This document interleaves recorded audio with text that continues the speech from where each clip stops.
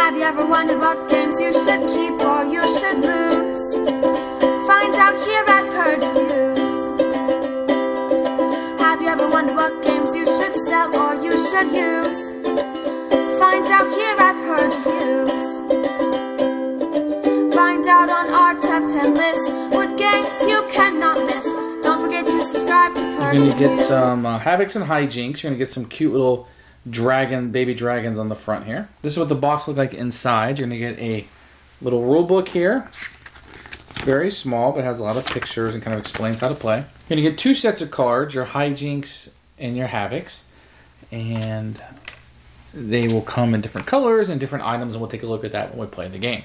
So all it is is two decks of cards. To start the game, you'll take these double-sided dragons. You'll see one side is sleeping and one side is awake. Each player will get their starting dragon, and each one's going to play a little bit differently. Still a dragon treasure worth three, trade a treasure. You can look at the top five cards, recover random. So you might want to shuffle these up and give them out to people randomly, but everybody will get a dragon to start the game out.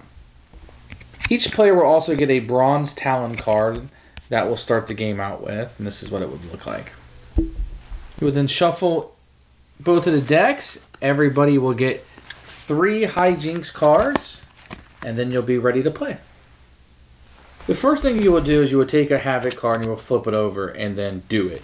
There are two types of Havok cards. There are treasure cards and there are event cards. Let's take a look at event cards first. This one in particular says Heat Wave, Havok Event Fire. Still a treasure from an opponent dragon. If it's the red dragon, you may then flip another Havok card and resolve it.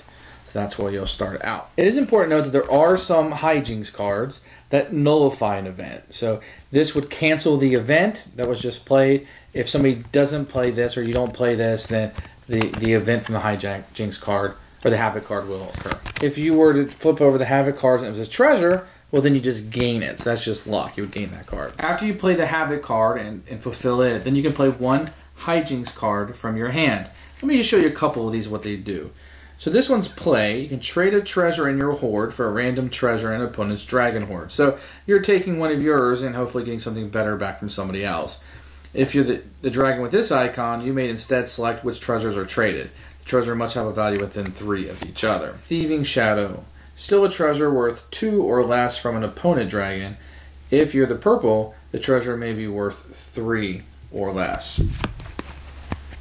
And another one is all dragons pass a treasure from their hoard if they have any to dragon on the right. You, if you're the yellow, you may instead select which treasure is passed by each dragon. So you, you can play one of these cards, which is to screw with other people, and hopefully the outcome will. If you played a hijinks card, then what you would do is you would just you would just discard it like you would in most games, and you would draw a new hijinks card, and then play would pass to the next. In addition to playing the hijinks card, each of your dragons will have a certain power, if you will.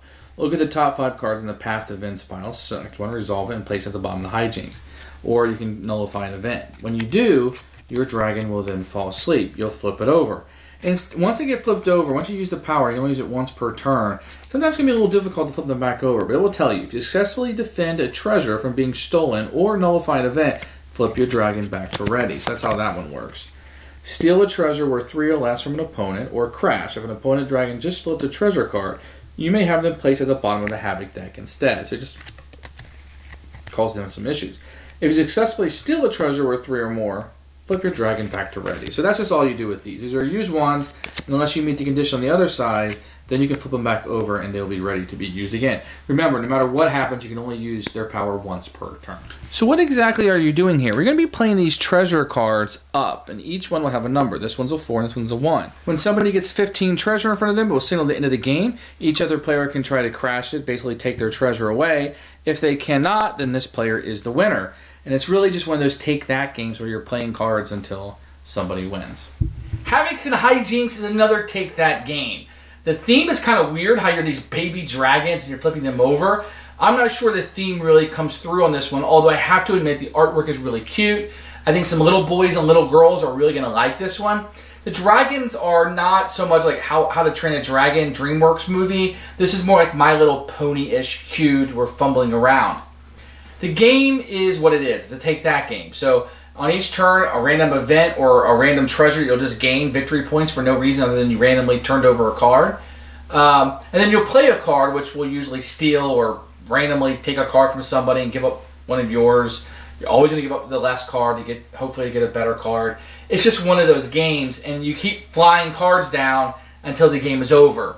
There's not a lot of strategy to this. I don't know. Maybe you hold a card back and you only play one of your three cards around. So maybe this is one of those games you just kind of play until it's over. I don't think this is going to be one of those games you're like, yeah, let's play some Havoks and Hijinks tonight. I cannot wait. I don't think this is a game that is going to be on fire for you. I think it's more of a game that you'll want to place on fire. At the end of the day, these kind of games are a dime a dozen. If you really want to take that game, I suppose this is just as good as any.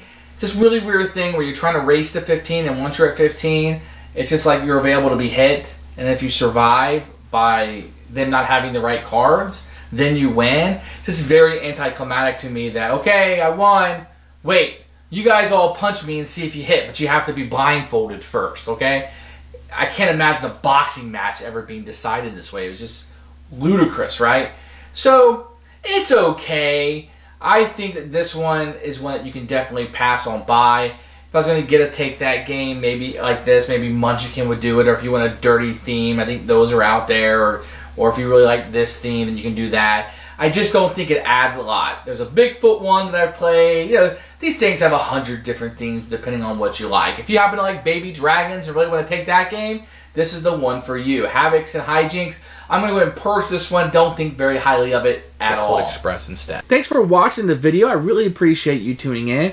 If you liked it, please like it and hit that little subscribe button. That really helps out the channel. Lets us know that you're getting the videos that you want. If you agreed or disagree with what I said, feel free to comment below. I'd love to hear what you have to say, and I promise that I will comment back. Thanks for watching, and everybody else, keep playing games.